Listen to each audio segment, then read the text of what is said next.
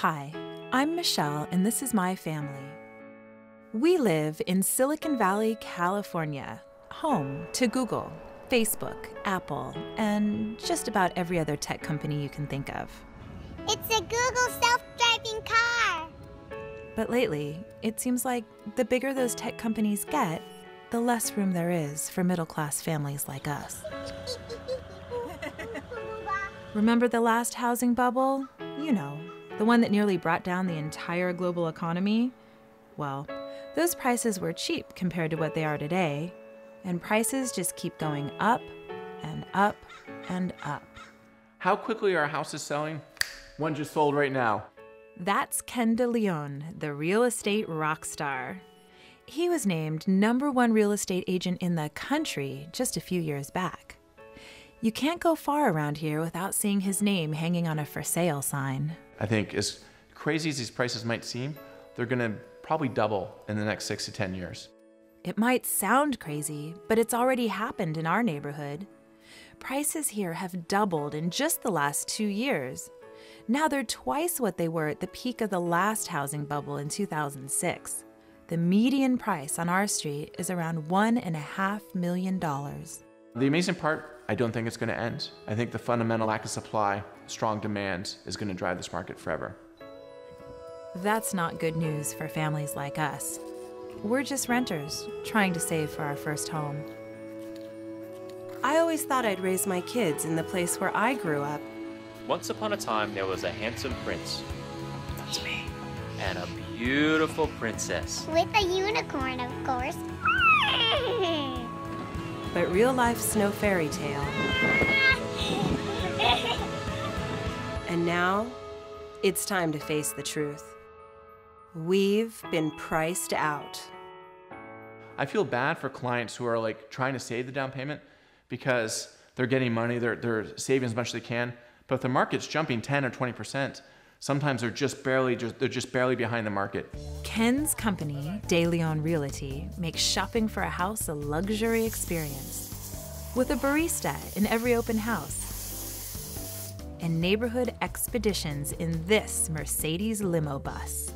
There's another booklet that I'm going to give you that has a map of Cupertino, which I personally wrote. And that book has um, Chinese, 中文, and English, okay? I recently rode along on a tour of Cupertino, right next to the neighborhood where I grew up. Most of the people on the bus have lived in the Bay Area for years. But there's a representative from a Chinese real estate agency along for the ride. He's scoping out properties for his clients in mainland China. So this house is listed for 1.888. Very nice Chinese numbers, um, but it's probably going to go over two very easily. Back in communist China, even the wealthiest citizens can't own real estate. They're only allowed a 70 year lease. And homes in Beijing and Shanghai are even more expensive than they are here. So, cashed up investors from China have flooded the local real estate market, bidding up prices all over the Bay Area. The strongest all cash offers will be from international investors. And if they're here for one week to buy a home, they're not going to get let fifty or hundred thousand dollars stand in the way of getting the home that they've identified. Even condos in Cupertino are selling for more than a house would have cost just a few years ago. Cupertino condo, believe it or not, has appreciated 55.26% just from January to May. So Cupertino condos are hot. condos like this one. Actually, it's not too bad because there's the Highway 280, you're close by, but depending on which unit you get, you don't hear it as much. The only thing that I would say is the acoustical ceiling. Some people are concerned about that. So um, with that, there's about 1% to 10% uh, asbestos that's actually in there. And it's not really harmful to your health unless you have kids that's throwing, you know, um, a heavy ball and it's falling down. Wait a minute, what? This small condo near the freeway with asbestos in the ceiling is listed for $940,000? Something that you guys should keep in mind is that the list price is a teaser price. This last week, I bidded on one that had 19 offers and went close to 350,000 over asking price. Homes in tear down condition are selling for $1.3 million and up. You'll never guess how much this neighborhood's gone up in the last year. You're going to be shocked 77.67%. Look at the high school. Nice high school, right? And it's not just Cupertino. It's almost impossible to find a house anywhere from San Jose to San Francisco for less than a million dollars. That's a 40 mile stretch. The listing for this San Francisco home warned potential buyers that it was in a deteriorative state. But it sold quickly for $1.2 million, 50% over the asking price, bought for all cash. This uninhabitable Palo Alto home is in a flood zone, so the savvy buyers got a great deal. They only paid 1.75 million, a whole $50,000 under the asking price. So lots of locals are cashing in. And like gamblers on a winning streak, they just can't resist the lure of all that easy money. When people knew that this house was going on the market, it kind of became cutthroat with the neighbors too. Well, how much are you putting it on the market for? How much how much did you get? Well, well if you get that much, then how much will I get? Things are so out of control that in our neighborhood, you can barely rent a tent in someone's backyard for less than $1,000 a month. No, really. For $46 a night, you get a tent in the backyard.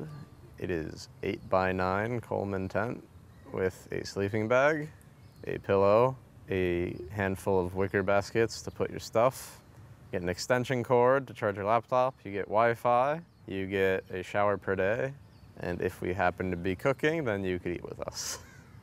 Meet John Potter. His Airbnb listing got national attention and sparked a lively debate online. In the end, the city of Mountain View shut him down, despite the high demand. Even though I had to stop offering it, I recently got an email from some Danish man who wants to live in the tent for a month or two. And he even said if someone outbids me, I'm willing to book 75 days instead of 60. Our daughter thinks a tent in the backyard sounds awesome. Can I go camping in your backyard? Do you have a tent you could bring? Mine's full. But she'd have to book ahead. John lives just around the corner from our family, and his story does not bode well for renters like us. Only a handful of areas have any rent control laws, so rent hikes and evictions are everywhere. Deb Folingstad lived in this San Francisco apartment for 10 years. One day, she got a notice from her landlord saying that her rent was going up more than 300%, from just over $2,000 a month to $8,900. I didn't even know how to react to it. I'm like, what? You know, is this a joke? And I like keep reading, and then I was like, and my security deposit's going up to $12,500. She went straight to the tenants union for help. And they're shocked. Like, they're shocked. They had never seen a rent increase like that. Like, no one had seen, I mean, like, they passed it around the office. Like, look at this. They told her there was nothing she could do. She had to either pay up or get out. So she started looking for another place. I was seeing studio, basement studio apartments. And in San Francisco, that means somebody converted their basement into a studio apartment. Like one room, no windows, damp, underground. And the lowest I saw was something at $1,700 a month. Turns out that's a bargain. The median rent for a one bedroom apartment in San Francisco is now $3,500, the highest in the nation. Want two bedrooms? That'll be $4,700. If you spend about a third of your income on housing, like government guidelines recommend, you'll need to make more than $200,000 a year just to afford the average two bedroom. People say the main reason rents are so high is because there's a housing shortage. But there are plenty of empty houses in our neighborhood. Oh my god. I think it's safe to say that nobody lives here. This is like the biggest weed I've ever seen in my life. Oh my gosh, this thing is so tall. Unoccupied homes are so common that locals have a name for them ghost houses. Over here, there's trash in the driveway. It's like these are old closed closet doors. I heard a rumor that this house on our street was purchased by a Chinese investor in an off market deal. I have no idea if that's true or not.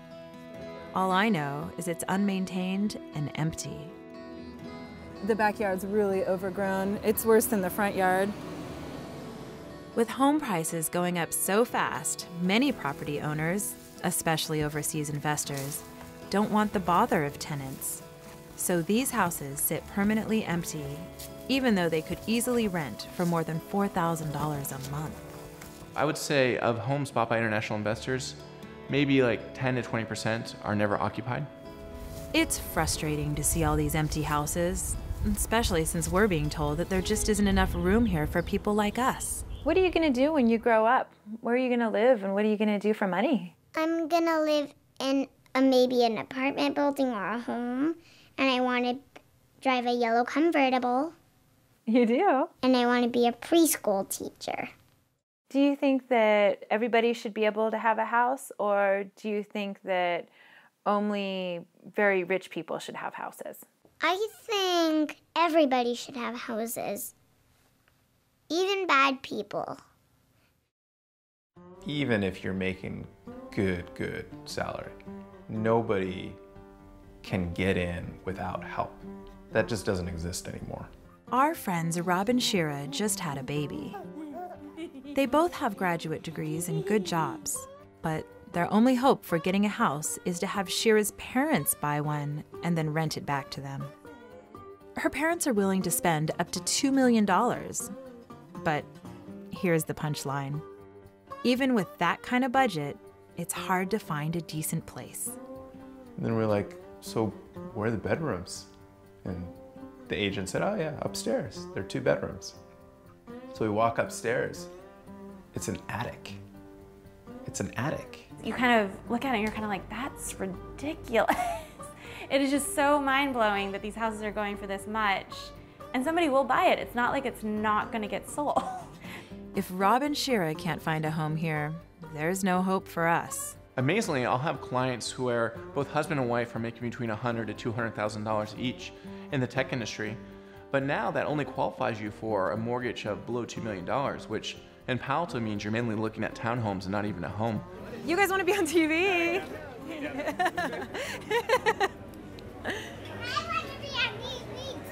you do? Yeah. You're beautiful enough to be on TV, I think. I love your yellow dress. It seems like everywhere I go, everybody's talking about the housing crisis. Our neighborhood is, is you know, we walk around and it's like, wow, am I a millionaire? I don't think so. this is a great part of the world to live, but I'm now beginning to feel that it's unsustainable to live here because of that cost. I've been in the real estate business all my life, and uh, we're trying to get an apartment just to rent, and the rents are higher than any place I've been uh, almost in the world. It's cascading through the rest of the economy because people are spending three quarters of their money on rent and health care, and they don't have any money to spend on goods. So all the businesses around here are going broke because people have no extra money. If you factor in the cost of housing, California's got the highest supplemental poverty rate in the country. That's according to a state government report. While people's disposable incomes keep shrinking, the tech companies just keep getting bigger. Google wants to build a series of futuristic biodomes using an army of hybrid crane robots. Facebook's new digs has a nine acre rooftop garden. And Apple's spaceship shaped headquarters is going to have room for more than 12,000 employees, all under one roof. It's a real problem. Yeah, So- he, he works at Google and I work at Synopsys. Both are in Mountain View, and it's it's hard to hire people if they're not from here because then they try to find a place to live and they can't afford it. Are you thinking that you might want to buy in the Bay Area sometime? No way, no way. Buy one, it's, it's about one million or something like that. It's a problem I, I think the tech companies have to figure out themselves. Like, you keep hiring people and you pay them enough to meet the current market rate, but then they get more money and then prices go up, and then no one ever really gets ahead. So you have people who are making a lot of money, but they still can't afford anything because everything just goes up. It wasn't always like this. The Bay Area used to be a middle class utopia. I know. I was here before Google, Facebook, and even Apple. My two brothers and I had the quintessential all American childhood. Our mom was always around to take care of us, and our dad was always home in time for dinner. Today, two professional incomes are barely enough to pay the rent, let alone save for a down payment. So, middle class families like us are being forced further and further away.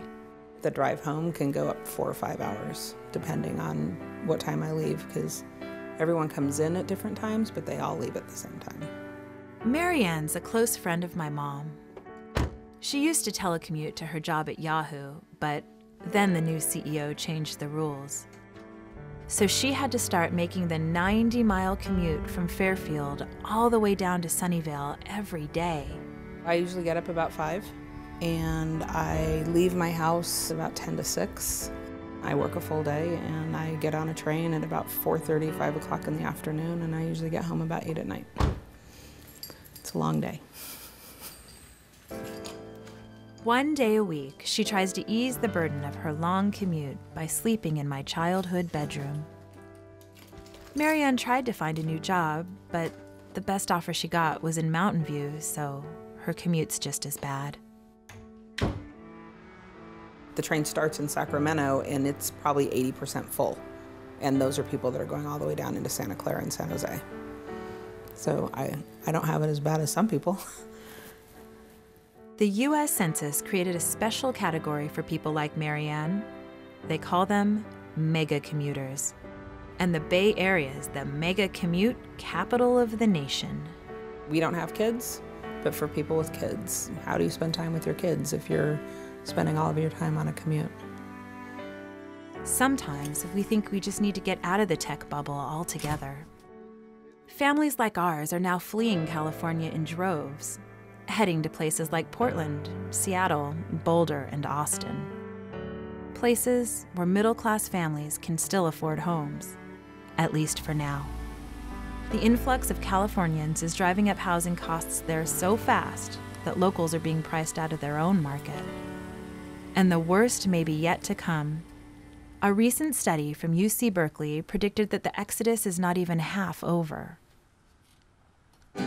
Housing's not for profit, we shall not be moved. Housing's not for profit, we shall not be moved. I went to San Francisco, where Mission District residents were protesting at City Hall.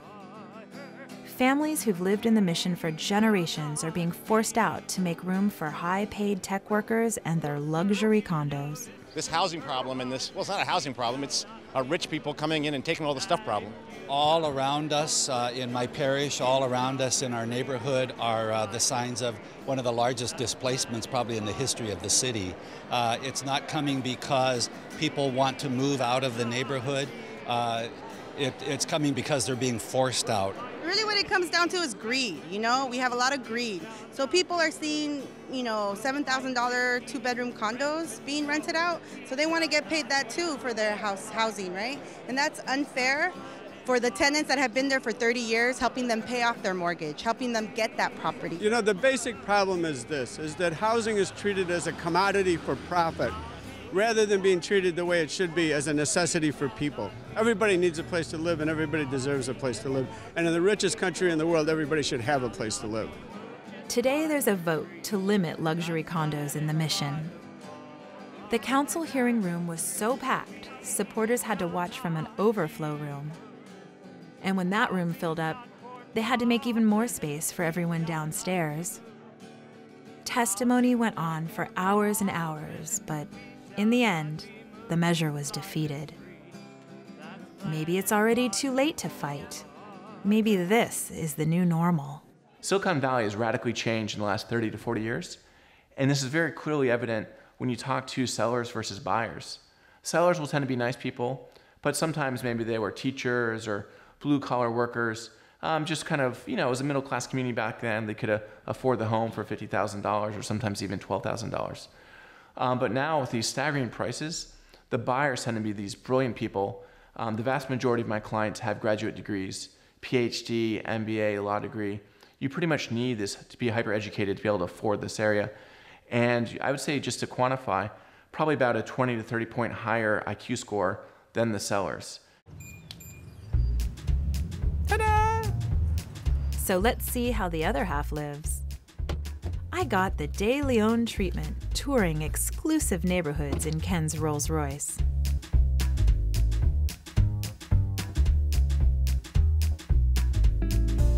Another one of Ken's tech clients just bought this place in Los Altos. Oh, wow. So this home is very contemporary. What you're starting to see is a lot more contemporary homes being built. The Mediterranean's kind of becoming passe. It's got a koi pond, a built in latte maker, a computer controlled shower, and a lap pool in the living room. My techie clients, they want to showcase they've done well in life, they've made it big, so they want a place to entertain and bring their clients in. And this home really showcases that. Cool house, but I don't need any of that stuff. These are European. I just want a simple home where I can raise my family.